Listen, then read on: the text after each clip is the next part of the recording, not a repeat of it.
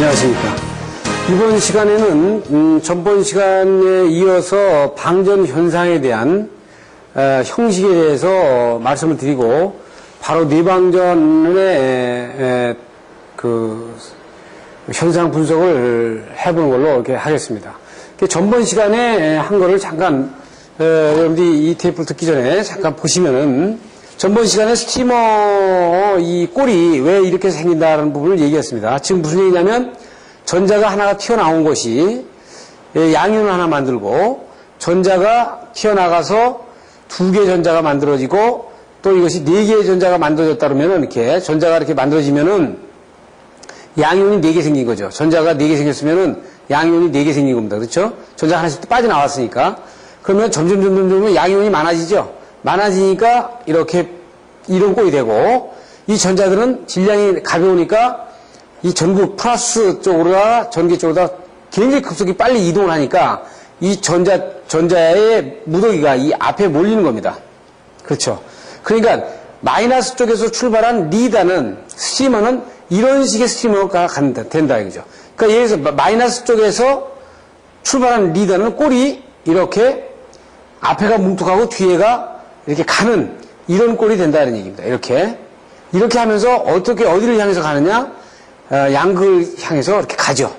어, 지금 음극의 네운이 음극의 네운에서 발생된 전자가 만약에 에, 플러스 대지로다가 이렇게 진행을 하면 스티머가 이렇게 진행을 하는 거죠. 이렇게 스티머 꼴이 이런 식으로 꼴이 진행을 하는 거예요. 이렇게 지금 보신 것처럼 뒤에 가늘고 앞에 뭉툭한 이런 리다가 이 스트리머가 이렇게 가면서 지금 이런 파형을 나타내는 겁니다. 지금 그러니까 우리가 번개가 네가 땅 치면은 이렇게 하늘에서 막쫙 쏟아지지 갈래 이렇게 나눠지는 거는 이 리다가 이렇게 진행을 하면서 최종 먼저 도착한 리다 쪽에 에, 이부분에 전염 파괴가 되기 때문에 대지 플러스 전화가 위로 치고 올라가는 거죠. 그래서 이 부분을 지금 그 아까 스트리마에 대한 이런 식의 리다의 꼴이 우리의 우리가 보통 일반적으로 생각하는 그 피뢰 설비의 피뢰 침의 그 형태를 나타낸다 이렇게 보시면 됩니다. 자 그럼 다시 와가지고 보면 음극에서 출발한 거는 이런 식으로 된다. 임극에서 출발한 전자는 이렇게 양극에 이렇게 가는 부분을 볼 수 있어요. 그런데 만약에 양극에서 출발을 해가지고 음극으로 많이 간다 그러면 양극으로 출발하니까 됐어요. 이 앞에 전자가 앞으로 모이겠죠. 예? 이 양극 출발해가지고 만약에 전염파괴가 된다 그러면 그러면 어떻게 돼요?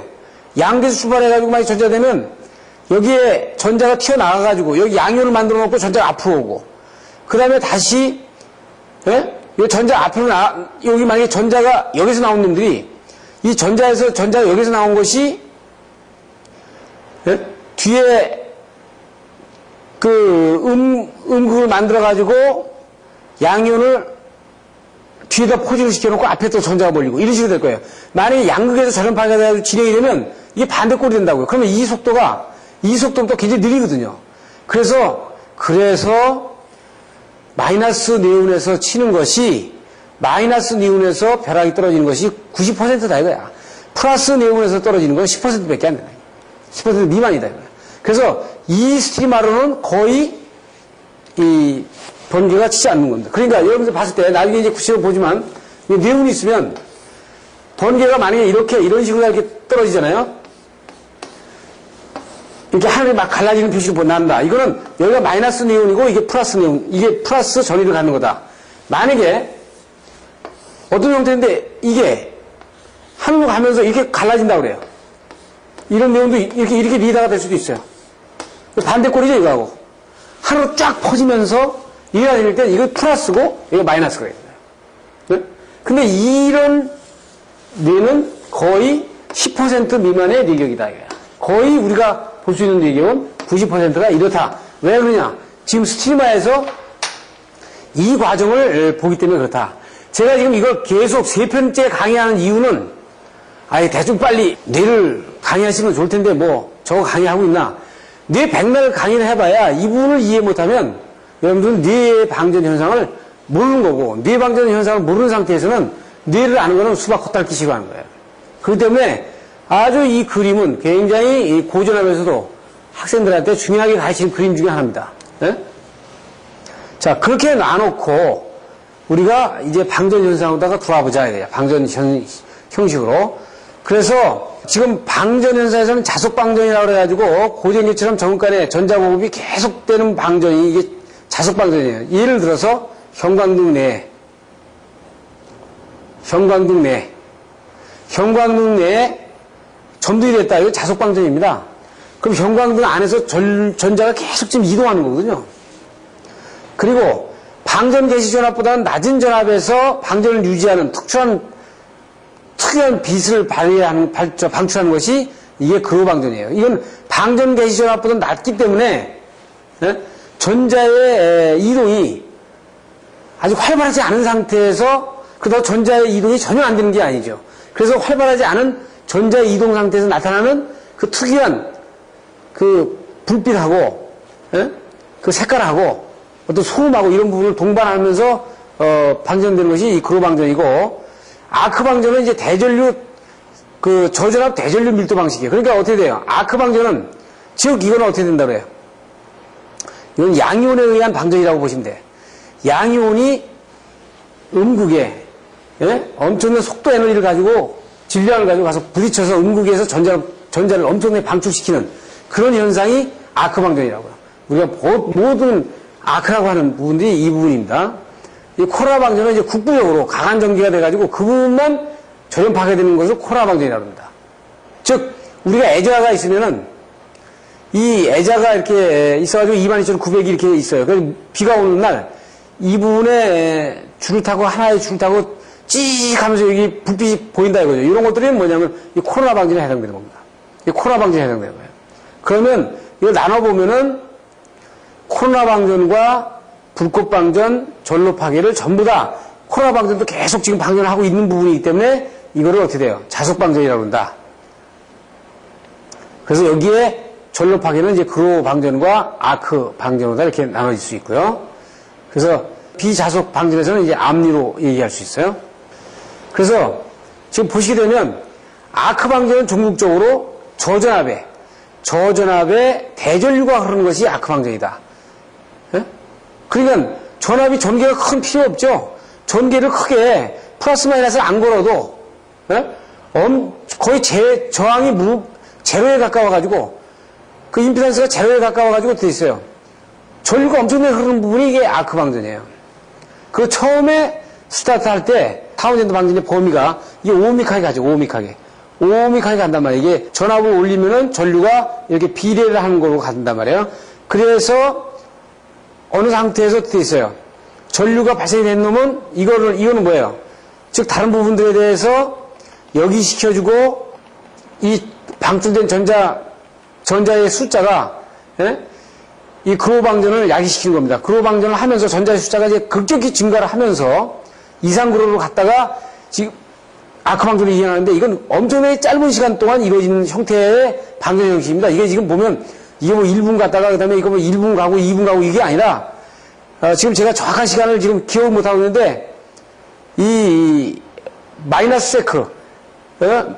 굉장히 짧은 시간 동안 글로우 방전에서 타운젠드 방전에서 아, 글로우 방전에서 아크 방전으로 가는 부분들을 얘기를 하는 거예요. 이것을 전기를 이런 방전관에서 나가지고 플러스 마이너스를 고정해가지고 이 저항을 움직여가면서 전기는 맥시멈 나는 상태 저항을 처음에 무한대로 놔뒀다가 제로로 가면서 이, 이 그래프를 재보게 되면 이런 그래프를 그릴 수가 있다. 이렇게 얘기하는 겁니다. 그래서 지금 코로나는 제가 아까 뭐라고 했냐면 이 애자에서 정상적인 그 저기 그, 그 절연 능력을 가지고 있는데 에, 그비 오는 날이라든지 이렇게 해서 먼지가 끼고 그다음에 여기에 염분이 많아가지고 이 부분이 이제 마르기 시작하면서 어, 여기에 대한 절연 파괴가 이루어지는 부분일 땐 집중 전기가 이쪽으로 걸리거든요. 그러면 여기에 전류가 흐름을 해가지고 여기에서 이제 코로나 방전이 일어나는 부분입니다. 그래서 여기는 정 코로나와 부 코로나로 다 이렇게 볼 수 있다. 이거는 참조를 해보시면 됩니다. 자, 여기서는 이제 이 그로우 방전은, 이 그로우 방전에 대한 부분은, 아, 이제 이거 형광등에서 일대, 예, 형광등에서 이 얘기를 해줘야 되는데 참 중요한 부분입니다. 이, 이 부분. 그래서 형광등에서 이제 자세하게 이 부분을, 어, 얘기를 하는데 어떻게 보면 이 그림 하나가 형광등 자체, 방전등, 그로방전을 전부 다 나타낸다고 볼 수 있어요. 지금 여기 이 칠판을 잠깐 보시면은 이 그림을 보고 정확히 이, 이 그림에 대한 부분을 여러분들이 이해하시면은 여러분들 방전 등에 대해서 그 다음에 이런 방전 현상에 대해서 상당한 수준에 있다 이렇게 보실 수 있어요.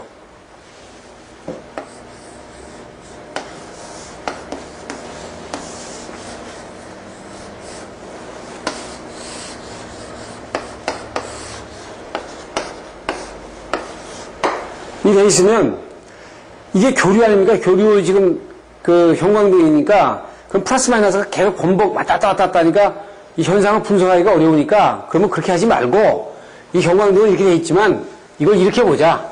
그러면 여기에다가 지금 저기에서 본 것처럼 형광등을 해석하기 위해서 여기다가 전개, 전극을 만들고 여기다가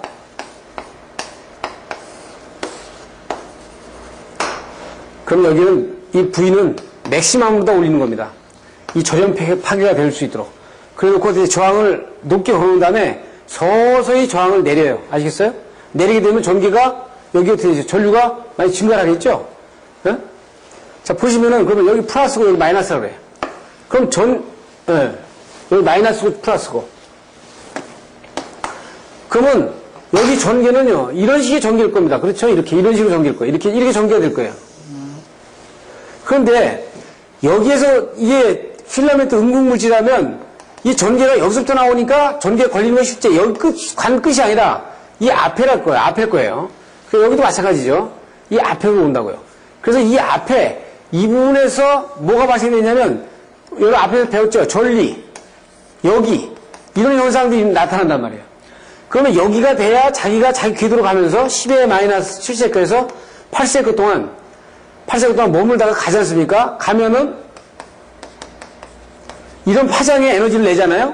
내면서 빛을 내는 거야. 그러면 빛을 내는 이 공간을 뭐라고 그러냐면 양광주라고 합니다. 양광주. 즉, 여기 보시게 되면 양쪽에 극이 있으면은요, 여기서부터 빛을 낸다고 보면 이 부분이 양광주가 되는 겁니다. 이 빛을 내는 이 부분이 양광주가 되는 거예요.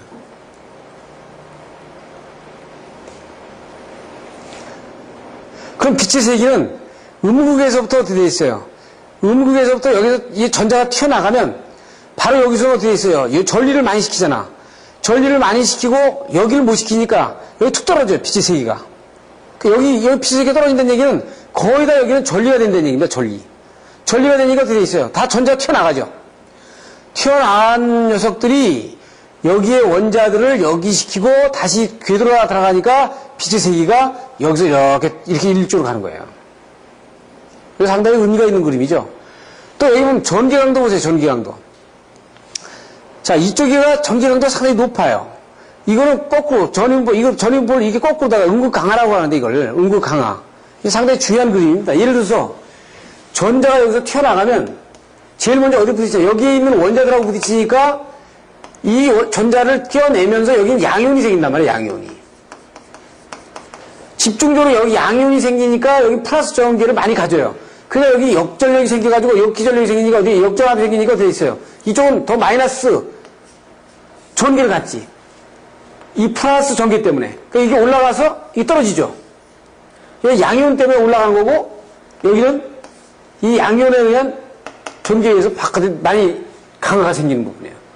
그 공간전화도 보세요. 그게 공간전화가 여기에 왜 플러스가 생기냐. 여기 마이너스인데 여기 마이너스 전자가 튀어나가가지고 여기에 양이온을 많이 만드니까 여기에 플러스 공간 전화가 생기는 겁니다. 이렇게. 네? 그래서 이 음극 강화부가 이 부분에 대한 부분을 음극 강화부라고 그러고 아까 얘기하는 어떻게 돼요? 에너지를 처음에 출발한 것에 입시론 알파 D의 마이너스 1이 이렇게 되는 거죠. 그 여기서는 뭐예요? 요거 식이죠, 이렇게.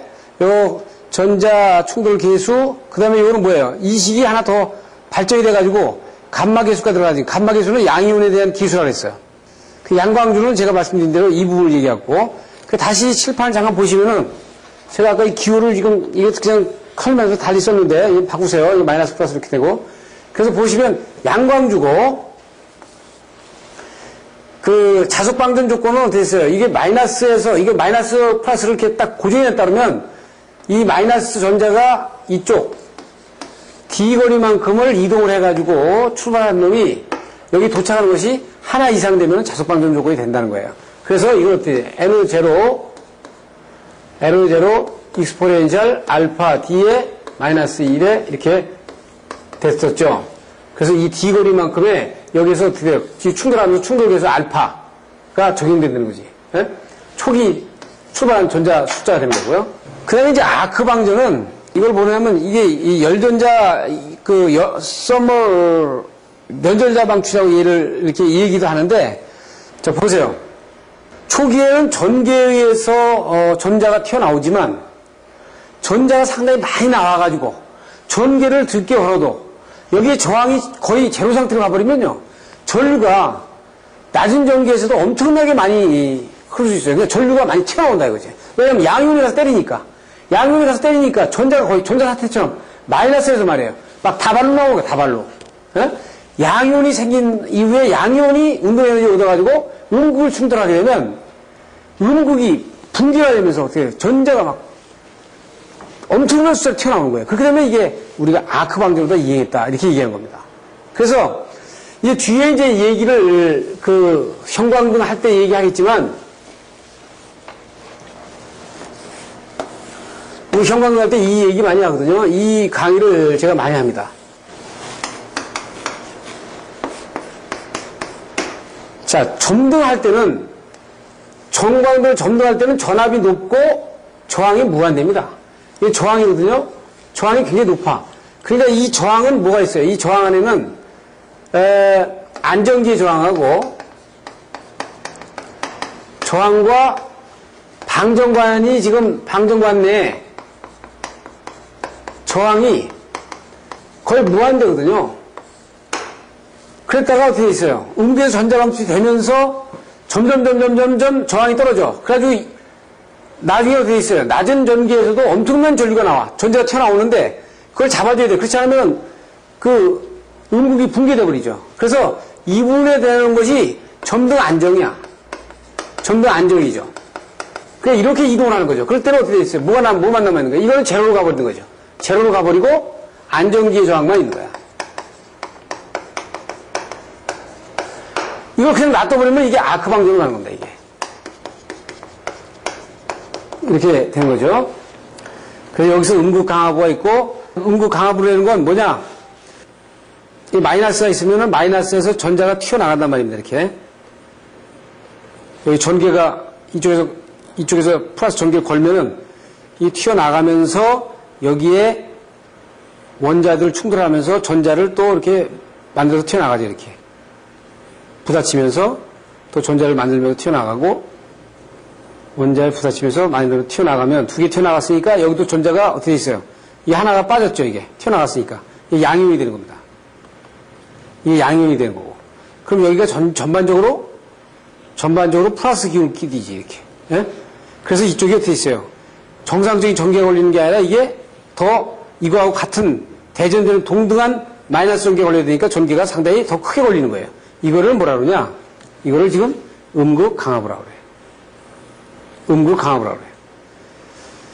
그래서 양광주에서는 경광등 내에서는 형광등 내에서 양광주라고 하는 것은 불을 불빛을 내는 부위를 양광주라고 한다 그런 얘기 했어요. 불빛을 내는 부위 이 부위가 양광주인데 여기서 전자의 온도보다 이, 이 전자의 온도는 이 관내의 온도보다 거의 몇 배? 100배 정도의 온도를 가지고 있다. 즉, 여기 관내가 50도면은 이 전자의 온도는 약 5000도가 된다. 어? 이렇게 되는 거죠. 그래서 전자의 온도가, 이거는 전자의 온도가 상당히 이렇게, 예, 온도가 올라갈 수 있는 부분을 보여요. 그냥 전자의 온도가 만약에 여기에 그 주위 온도가 이 정도 온도라면 40도라든지 50도라면 전자의 온도는 충돌에 의해서 전자가 상당히 온도가 높게 올라가 있는 현상을 나타내는 겁니다.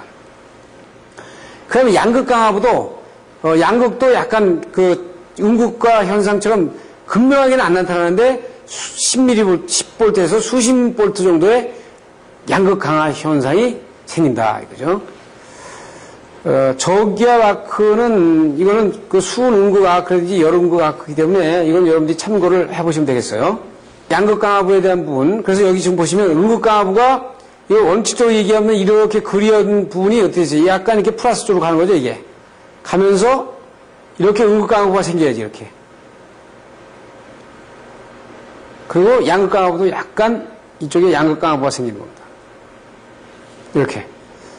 그래서 그 부분을 좀 이렇게 구체적으로다가 표현한 부분들이 여름극의 아크 전의 부분을 이렇게 얘기하고 있죠.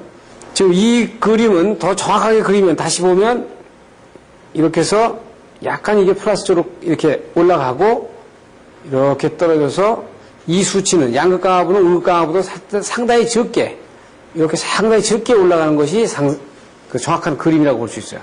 그래서 이제 고기압 아크에서는 고기압은 이제 뭐 고기압에서 아크가 발생이 되면 이게 아크로 진행이 되면서 전압이 떨어지면서 전류가 급격하게 증가하는 부분을 볼 수 있어요. 그래서 수하 특성상 안정기가 반드시 필요하죠.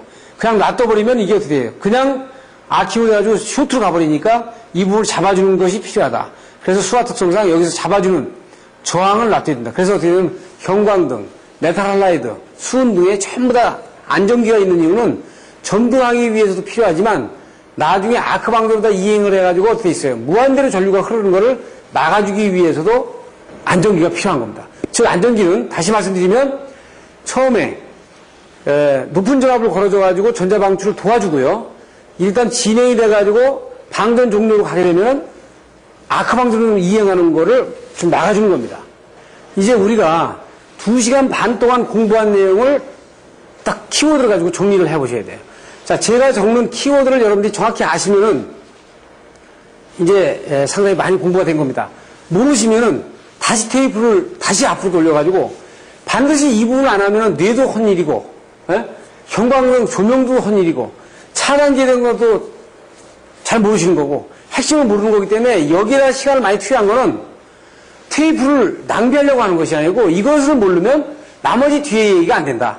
그래도 이것도 함축해 가지고 아주 짧은 시간에 여러분들 실제적으로 이 강의가 엄청나게 방대한 분량을 짧은 시간에 여러분들한테 키워드를 좀 전달한 거예요. 정리해 보면, 첫째, 전자 배열. 그래서 전자의 수. 그렇죠? 그래서, 어, 여기 원자 구조 봤죠? 여기서 여기 전리, 공진, 본 겁니다. 그래서 여기서 불안전 상태, 중안전 상태.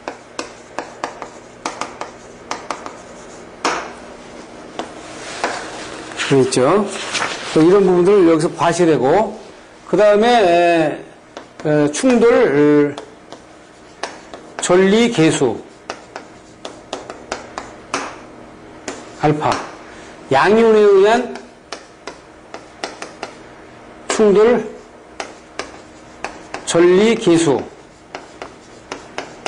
베타 그렇죠? 이렇게 해서 여기에서 어떻게 돼 있어요? 어, 전자의 방출과 소멸 과정. 그래서 이 전자의 방출은 뭐 전기에 의한 거, 뭐 열에 의한 거, 그 다음에 충돌에 의한 거, 저는 계수에 의한 거, 복합.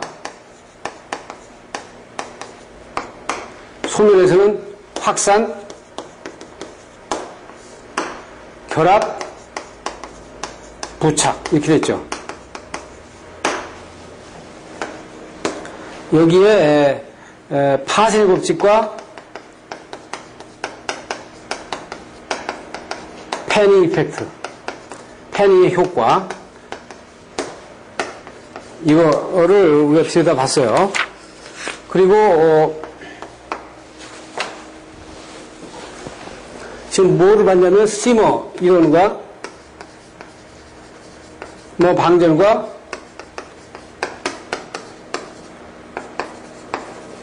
타운젠드 어, 방전을 봤어요. 그래서 스트리머의 이론은 이건 뇌처럼 이, 이 전극 간격이 크고 간격이 크고 어, 대전류 고전압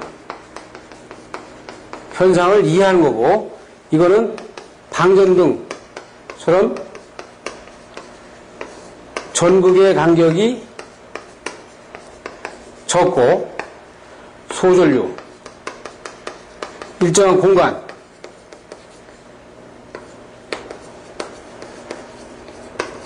그 대, 에, 소전압 적은 압력 압력에 해당되는 이론을 해설할 때 타운젠드 방전 봤고 스트리, 스트리머 방전 봤어요. 그래서 여기서 그 타운젠드 방전을 가서 보면은 여기 이제 자속 방전 조건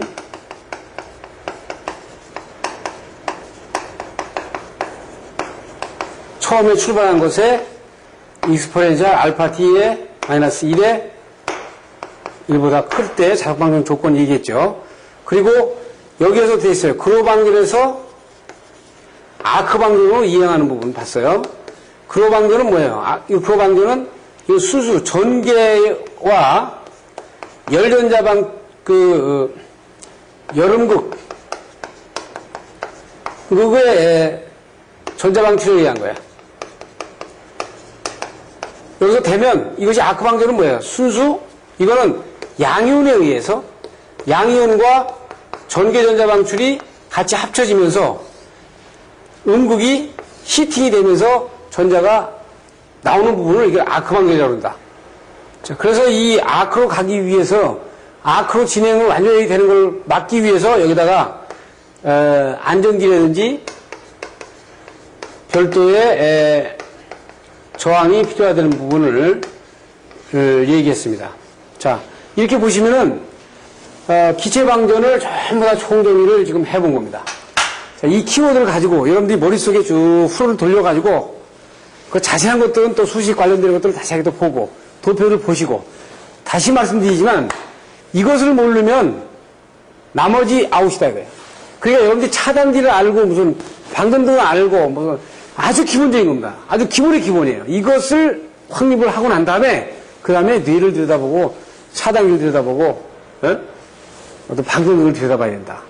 그래서 이 강의는 한 번에 가- 만약에 여러분들이 이해가 안 되면 두 번, 세 번 연거푸를 해서 계속해서 반복적으로 해서 어, 숙지를 할 수 있도록 이렇게 부탁을 드리겠습니다. 감사합니다.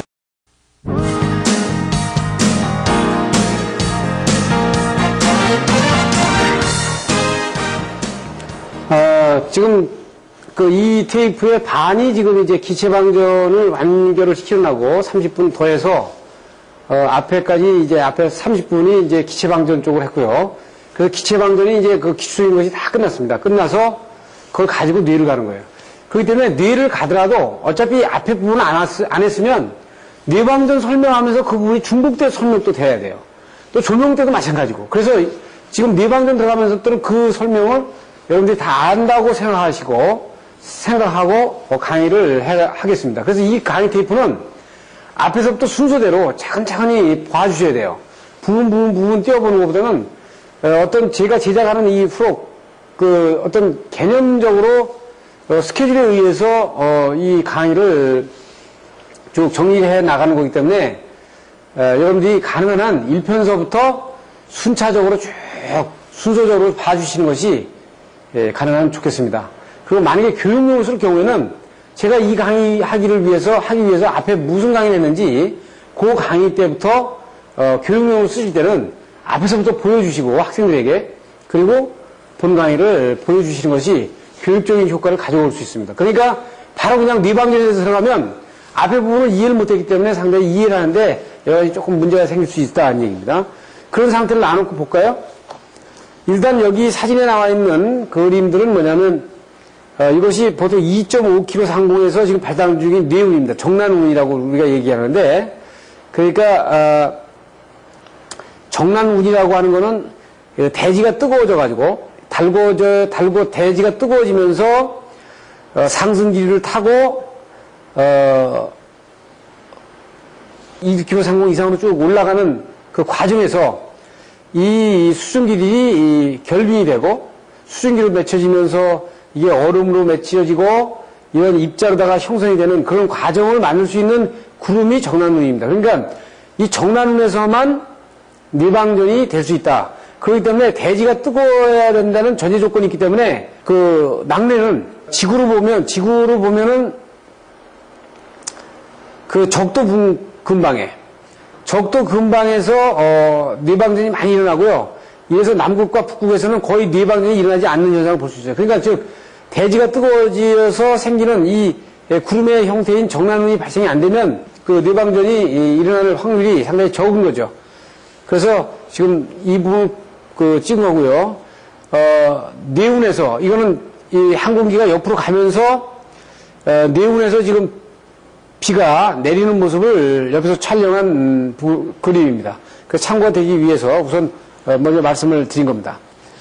그리고 또이 그림은 이제 에, 아주 대표적인 정난운입니다. 그러니까 대지가 뜨거워지면서 상승 기류가 올라가면서 상승 기류가 올라가면서 1km 이상 되면은 영하로 내려가고 온도가 상당히 영하 마이너스 5도에서부터 마이너스 20도까지 이렇게 기록을 하는데 그러면서 됐어요. 여기에서 성승, 상승 기류가 수증 기로 그 다음에 결빙이 돼서 구름 현상으로다가 나타나는 부분이 이게 정난운입니다. 이 부분이 이런 과정, 이런 구름, 구름이 생기면서 이 구름이 자연낙하를 하는 과정에서 플러스 입자와 마이너스 입자가 생기면서 플러스로 마이너스로 대전이 되는 그런 현상을 갖는 거예요.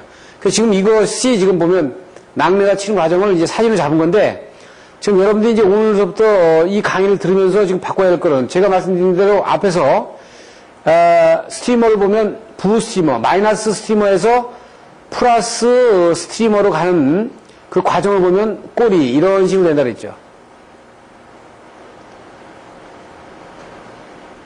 이것이 90%라 그랬어요. 90%. 그래서 플러스에서 마이너스로 진전되는 거는 거꾸로 이런 식으로 진전됐죠. 속도가 느리기 때문에 이 부분이 어, 반대죠.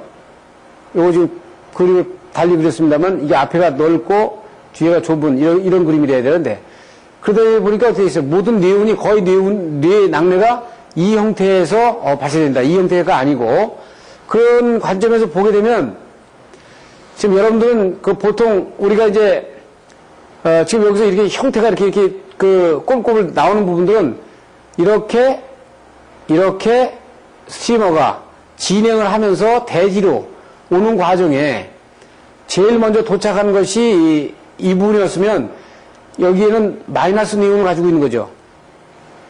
어, 플러스 전화를 가진 대지에서 어, 전화량이 일로 이동을 하는 거죠. 이- 이쪽으로 이동을 하면서 지금 앞에서 본 것처럼 전자는 다 일로 앞으로 이동을 했잖아요. 지금 전자가 마이너스 전자 이쪽으로 이동했죠. 지금 그 우리 스트리머에서 배웠죠. 그러니까 이 스트리머를 모르면 안 된다 이거지. 앞에 마이너스가 다 이쪽으로 이동했지 않습니까? 그럼 전자가 이쪽으로 이동했다는 얘기는 전류 방향은 반대 아닙니까? 네? 그러니까 낙뢰가 이렇게 치면은 낙뢰가 이렇게 치면은 낙뢰 이 그림에서 보면 전자는 여기 있는 네온에 있는 전자가 대지로 이동을 했지만 대지로 이동했지만 전류는 이 위로 치고 올라가는 겁니다. 그래서 낙뢰는 낙뢰는 리라는 상부에서 내려오지만 전류는 위로 치고 올라간다는 그 여러분들이 그 개념을 가지고 계셔야 돼요. 그래서 이 부분은 낙뢰의 그 뇌의 중단 그 심장부를 옆으로다가 찍은 어, 사진의 부분을 보여주고 있는 겁니다.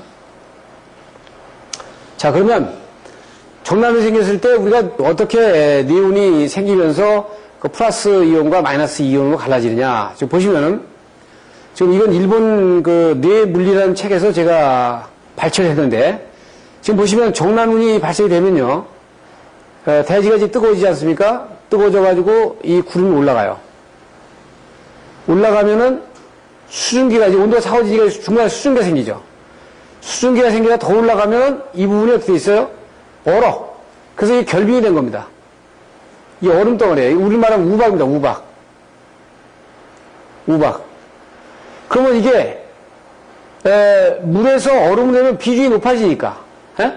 수증기 때문에 물이지만 비중이 높아지니까 이름이 떨어져요. 그래서 이 우박이 떨어지면서 이 우박이 동그랗게 생긴 게 아니고 이렇게 울퉁불퉁하게 생겼죠. 그럼 떨어지면서 이렇게 돌면서 떨어진단 말이에요. 이렇게. 회전을 하면서 스피드 운동하면서 이렇게 떨어지 이렇게. 이게 떨어지면 이게 공기하고 마찰을 합니다. 예? 이게 떨어지면서 어디 돼요? 밑에 공기하고 마찰을 하죠 이렇게. 예? 마찰을 하니까 어떻게 있어요? 이 얼음이 부분적으로 녹는데 밑에만 먼저 녹아. 왜? 밑에서 마찰이 많으니까 이쪽이 공기하고 마찰을 많으니까 이 밑에서부터 이 녹으면서 얼음이 점점 점점 적어지죠. 얼음이 점점 점점 적어지면서 물이 많아지면서 이 안에서 돼 있어요? 이 물에서 멤브리 현상이 생긴단 말이에요. 그래서 하나 이렇게 돌고 하나 이렇게 돌면은 여기서 한쪽 방향 이렇게 돌고 만약에 한쪽 방향 이렇게 돌면은 여기서 플러스와 마이너스로 이 대지가 되는 겁니다. 그런데? 대지가 되게 대지가 뭐라 그랬어요? 대지가 이 대지가 이 플러스거든요. 플러스면 어떻게 됐어요? 이게 마이너스와 플러스 이게 대리되면 이 물방울이 어떻게 되냐면 마이너스는 이쪽으로 플러스 이쪽으로 이렇게 갈았을 거 아닙니까? 이렇게? 예? 왜 여기가 여기가 지금 마이너스 가 땡기는 것이 이 마이너스를 이쪽에서 플러스를 플러스가 마이너스 이쪽으로 땡기니까 그래서 지금 이 과정이 아주 잘 에, 그림을 잘 그려놨어요. 그러니까 우리가 우박이라는 건 뭐냐? 우박.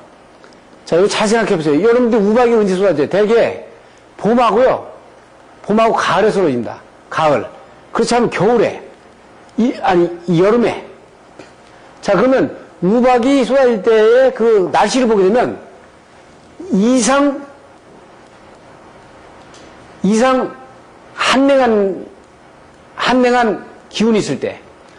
그게 무슨 얘기냐면 여름인데 여름 날씨가 굉장히 춥단 말이야, 이상하게.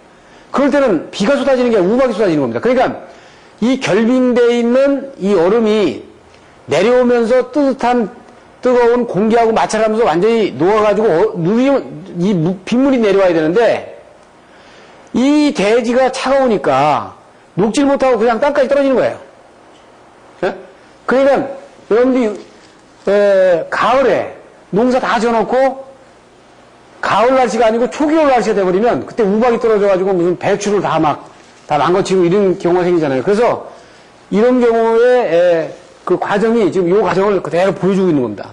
그래서 이제 일본 그 내화 물리의 책에 보면 상승기류를 지금 상승기를 타가지고 이건 500m, 2.5km까지의 올라가는 과정에서 상승기를 2.5km까지 올라가면서 0.2g 마이너스 3승의 결정체로 일단 결빙이 돼가지고 내려오면서 이제 기르 저기 그 빗물로 바뀌면서 떨어지는 부분을 보는 거예요. 그래서 이 부분이 지금 정난운이 만든 전체 정난운의 크기를 보시면 되겠습니다. 그러니까 정난운 크기는 500m 상공서부터 약 2.5km 상공까지의 그 크기의 구름을 가지고 있고 여기에서 여기까지 2km를 보니까 여기 2km를 보니까 이 적란운의 양 옆에는 약 2km 뭐 2.5km 바이 2km 정도로 보시면 되겠어요. 자 그러면 구름에 대한 부분을 이제 봤단 말이에요. 기본적인 구, 구름의 그 뇌운에 대한 그 전체적인 그 개념을 봤어요. 그러면 적란운이 대지가 뜨거워진 상태에서 올라간 수증기가 위에 수증기가 되고 결빙이 돼가지고 내려오면서 마찰이 되면서 녹으면서 회오리가 되니까 여기서 플러스 마이너스 전개로 이온을 가진 놈으로 갈라지는데 대지가 되게 마이, 플러스니까 왜냐하면 마이너스 뇌운이 음, 뇌운이 마이너스인 경우에는 플러스가 된단 말입니다. 여러분 여기서 이제 한 가지 더 얘기할 거는 대지가 마이너스 아닙니다. 대지는 중성이에요, 중성. 그 대부분 많은, 많은 사람들이 뭐 접지를 하니까 이거 항상 마이너스로 생각하는데 이건 아주, 아주 mistake죠. 그러니까 여기에 뇌운이 마이너스 생기면요. 여기 대지는 플러스의 전위를 갖는 겁니다. 여기에 마이, 플러스가 생기면 여기엔 마이너스 전위의 전위를 갖는 거예요. 그렇기 때문에 이 대지는 플러스와 마이너스를 상대편에 따라서 마음대로 맞춰주는 중성이란 말이죠. 예?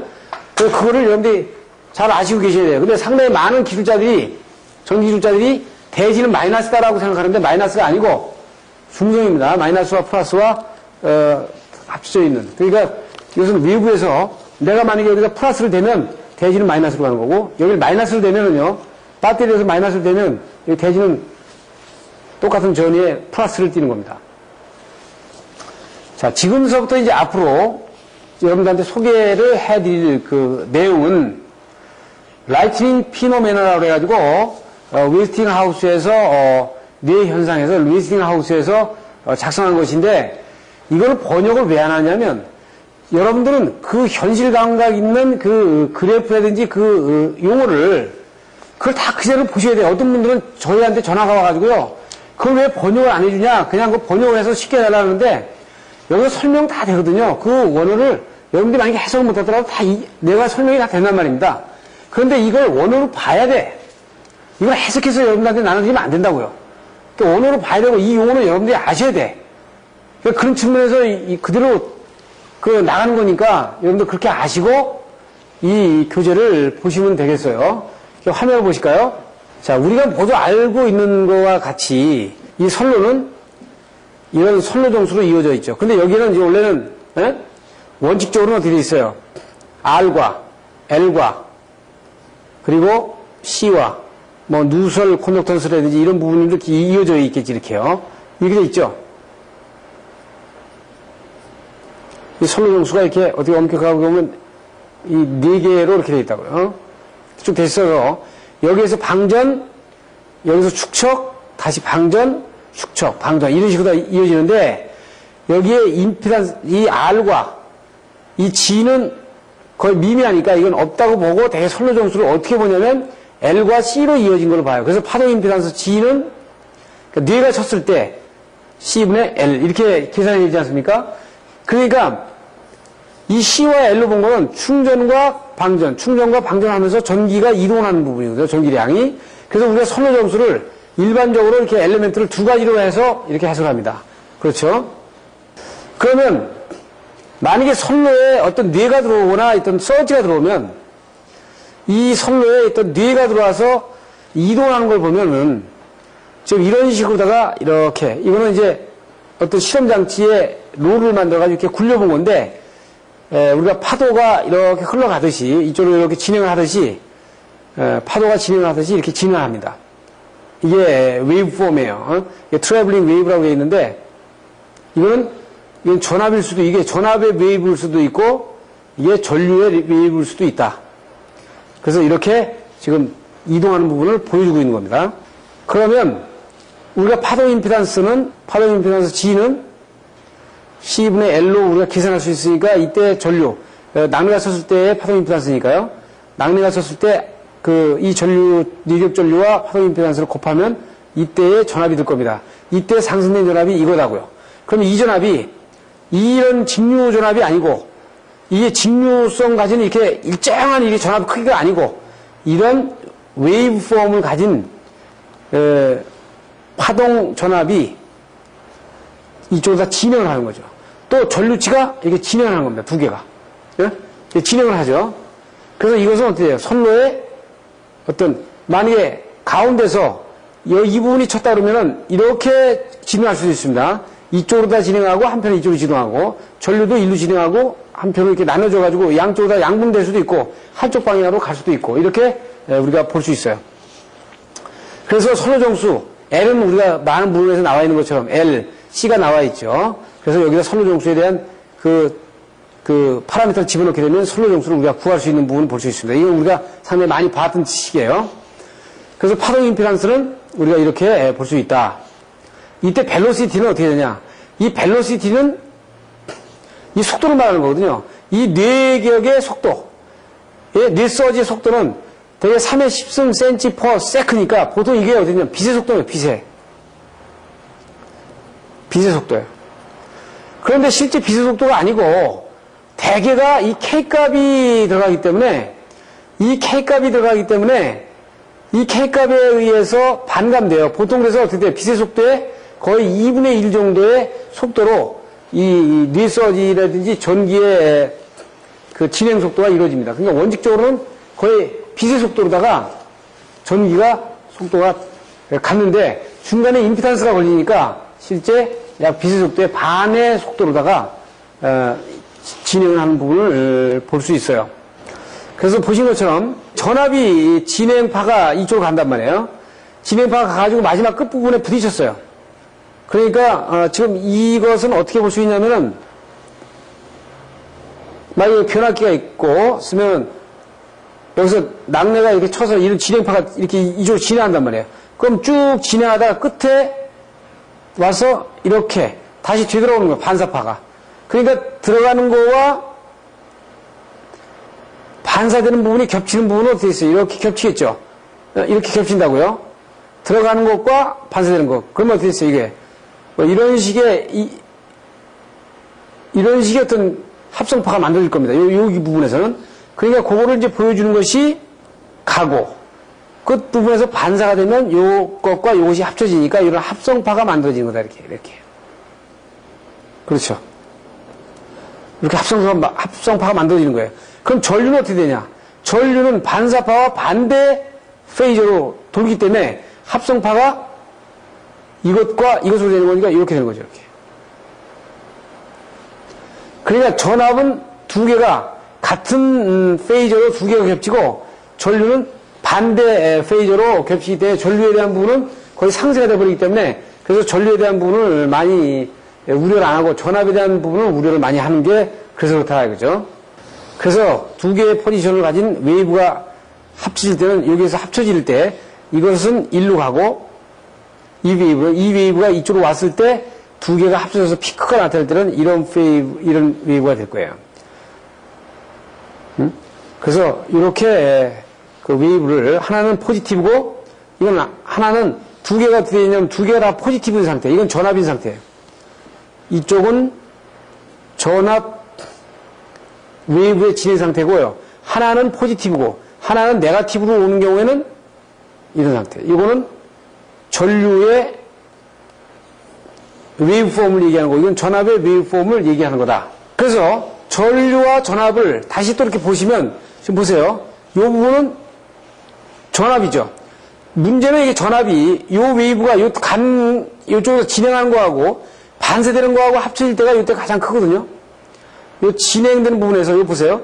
진행되는 폼이 여기 딱 걸리고 반사되는 폼이 딱 걸리게 되면은 딱 두 배가 되죠. EF에 2의 EF 두 배가 되는 겁니다. 그럼 여기 순간이지만 요 진행한 파에 두 배의 전압이 걸리는 거예요. 아, 이게 문제다 이거예요. 이게.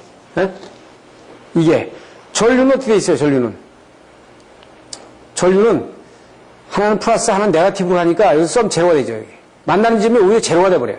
자, 문제는 그러면 진행하는 파가 이게 여기서 들어간 파가 만약 이렇게 진행을, 진행을 하잖아요.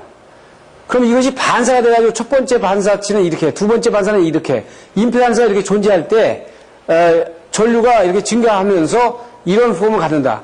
이거는 여기서 지금 여러분들 이해 안 가죠? 그래서 뒤에 거를 보시면 이해가 갑니다. 자, 여기 보시면은 이것을 뭐라고 그러냐면 격자도라, 격자도. 선로의 격자도. 어, 일본 책에서는 뭐 선로의 서지 중폭도, 선로의 주, 서지 중폭도 이런 식으로다가 아, 얘기를 하는데 자 보세요. 이 선로는 우리가 이제 선로 사단자망에서 보면은 이제 장거리, 중거리, 단거리 해가지고 사단자망을 구하잖아요. 그럼 어떻게 든 똑같은 그 송전선로라도 이것이 선로 점수가 다르단 말입니다. 길이에 따라서. 그럼 선로 점수가 다르면은 무슨 얘기냐면 우리가 송전선로가 쭉 이렇게 돼 있어도 에? 이 구분 구분 보게 되면 여기에 임피던스 다르고 이 구역 임피던스 다르고 이 구역 임피던스 다르고 이 구역 임피던스 다르다 이거지. 임피던스가 다르면은 어떤 진행파가 진행을 하는데 임피던스 매칭이 안 되니까 반사하게 돼 있어요. 자 보세요. 처음에 EF가 이게 진행을 하는데 EF가 일로 들어갔어. 진행을 하다가 요점에서 이 부분에 임피던스가 다르니까 여기에 알파 제로 EF EF에서 이만큼을 빼고 이만큼이 진행을 합니다. 그리고 반사를 해 이쪽으로. 또 이분이 여기 또 부딪히니까 여기 임피던스 다르니까 또 여기서 또 조금 감소해가지고 또 일로 진행을 하고 또 일로 반사를 해요. 이 반사한 놈이 또 여기 임피던스 다르니까 일로 들어가고 다시 일로 나와요. 이것이 일로 또좀 반사되고 일로 좀 들어가고 이로 반사되고 그렇게 되면 여기가 집중적으로 중첩이 되거든요. 여기에 그렇죠. 예? 그러니까 어떻게 있어요? 여기서 이런 EF가 지나가면 실제적으로 어느 일정한 부분에 중첩이 돼가지고 어떻게 있어요? 여기 가장 크고 점점 점점 적어진단 말이에요. 그래서 이 부분을 얘기한 부분이 처음에 들어가면 이 부분이 들어가면 처음에 들어간 건 이거. 그 다음에 이 부분이 반사돼서 단대로 가버린 거죠, 이건. 반사대로 가가지고 다시 나온 거예요. 그렇죠? 또 다시 이 부분은 낮아지고 이게 다시, 다시 들어갔고 이 부분이 또 반사돼서 나와서 또 다시 중첩이 되는 겁니다. 그래서 다시 보시면 이 격자도에 의해서 이 증폭이 이렇게 된단 말이에요, 이렇게. 그래서 일본 책에서는 이렇게 얘기하고 있어요. 자, 뇌가 들어가면 시간, 이거 시간이 가면은 이게 거리입니다, 거리. 그렇죠. 시간이 이렇게 많이 걸린다는 거리죠, 거리. 이런 시간이 걸린, 예? 뭐 20 마이크로, 25 microsecond 때 가장 높은 중첩이 돼가지고 전위 상승이 이렇게 되는 부분을 볼 수 있어요. 그렇기 때문에 우리가 변압기를 피뢰기로부터 20m를 떨어뜨리지 마라. 그 얘기는 변압기로부터 들어간 부분에서의 그, 그 관련되는 부분들을 어, 이 중첩에 대한 부분들 때문에 문제가 되는 거예요. 그래서 다시 이제 앞으로 와보면 어, 지금 EF가 진행이 가면 여기에 임피단스하고 여기 임피단스 다르니까 임, 여기에 임피단스 차에 따른 감쇄되고 나머지 또 반사되고 또 이분이 간사되고 이런 식으로 다 되는 부분이에요. 이거 수식으로 나타낸 거고. 그러니까 지금 이 정리가 되겠죠. 이것이 격자도 이해하시겠죠. 그래서 이것에 대한 썸이 이렇게 나타난다. 또 일본 측에서는 지금 이렇게 책에서 얘기를 하고 있다. 자, 그러면 여러분들이 이 서지가 들어오게 되면 이 서지가 들어온 서지가 시간이 가면서 이렇게 어느 시간까지는 계속 증가된다는 걸 봤죠? 자, 이게 증가됩니다. 이게 여기 들어오는 거에 비해서 약 뭐 상당히 많은 그 비례가 증가했잖아요. 지금 이 증가되는 원인을 이제 격자적으로 가지고 알았죠. 그래서 우리가 자 보세요. 제가 강의 이 강의를 많이 이용합니다만 여기 피레기가 있다.